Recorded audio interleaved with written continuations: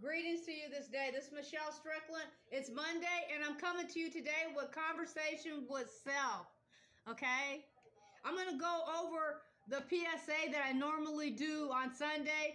I decided, you know, I, I took I, I switched my schedule up a little bit over the weekend, so I decided to do the uh, PSA number five for Conversations with Self today. So, what do you want to talk about today, Self? Well, Self, we're going to talk about human strength. Human strength, self? Yeah, self. Hang on a minute. Uh, self, have a seat, self, for a couple minutes. Get comfortable. I got cushions on my chairs. I put cushions over my my kitchen chairs. Okay, um, so what is what is strength? So it's just about is it just about physical power or is there more to it? Join me as uh, we journey, you know, to explore and delve into the diverse ways human strength can be defined. Okay?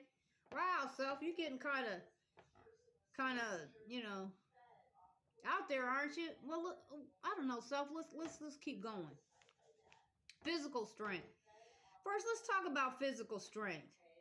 We often associate it with lifting heavy weights or running marathons, but remember, strength goes beyond just muscles.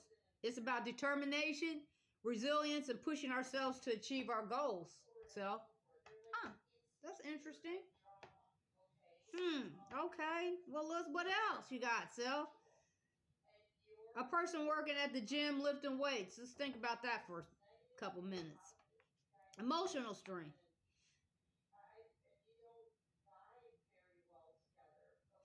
Emotional strength is another vital aspect of being human. It's the ability to handle life's challenges, staying optimistic in tough times, and showing empathy and support to others in need.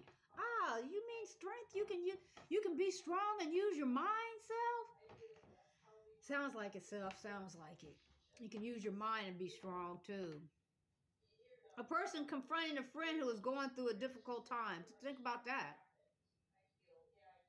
A friend comforting, a person comforting a friend who is going through a difficult time. Wow, that's strength. Yeah, it can be self. It can. That can be strength. It can be. Use your mind. Okay. Mental strength. Mental strength is all about the power of the mind. It's adaptable solving problems creatively and maintaining focus even when you know facing adversity. You know that's very important. That sounds like that's that's an important uh, thing to be able to know how to do self yeah self it does it does sound like it could be an important thing to learn how to do.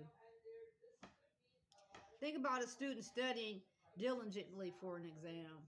Think about that for a minute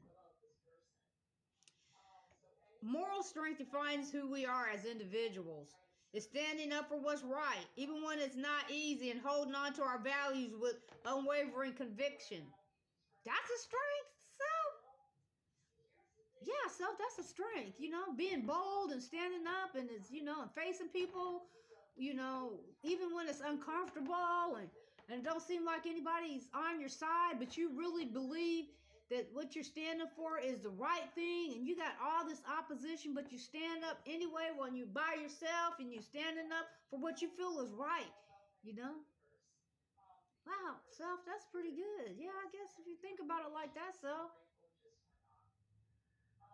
yeah yeah that could be a strength Think about a person speaking up against injustice. Think about what they could be going through.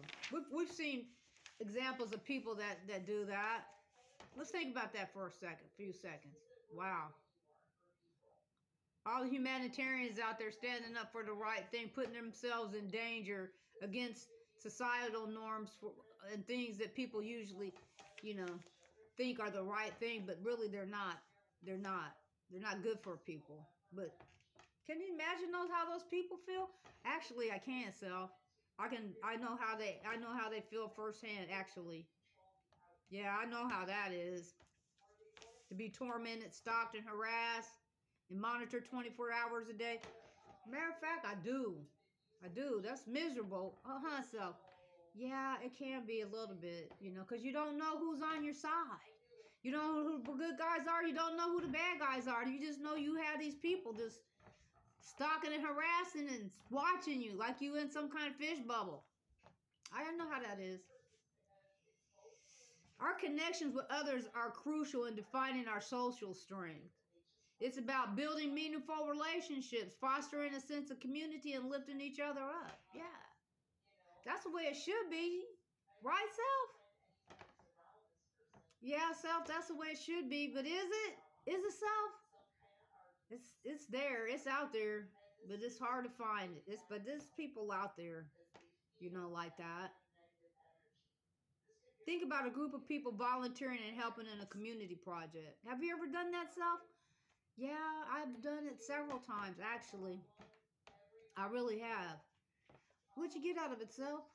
Most of the time, it was very um, fulfilling. All the time, it was fulfilling. Some of the times, it was it was it was real. It was it was comfortable, and sometimes it wasn't comfortable because it was dangerous. You know, you know, showing up for different events that unscripted and you know almost at the verge of riotous, and at times riotous. So it was dangerous sometimes, but we stood up, people stood up for what was right. You can go back in my videos and see from the beginning. You know, but it was fulfilling because people stood up for themselves. Okay. Spiritual strength. Let's talk about that or think about that for a minute. Wow, that's pretty cool you think about it, there's nothing wrong with being spiritual. You don't have to be perfect. No one is to love God. You don't have to, you know. Everybody has their definition of what, what spirituality is to them, you know. Just be respectable, you know. That's where, you know, nobody can make you believe anything that you don't want to believe.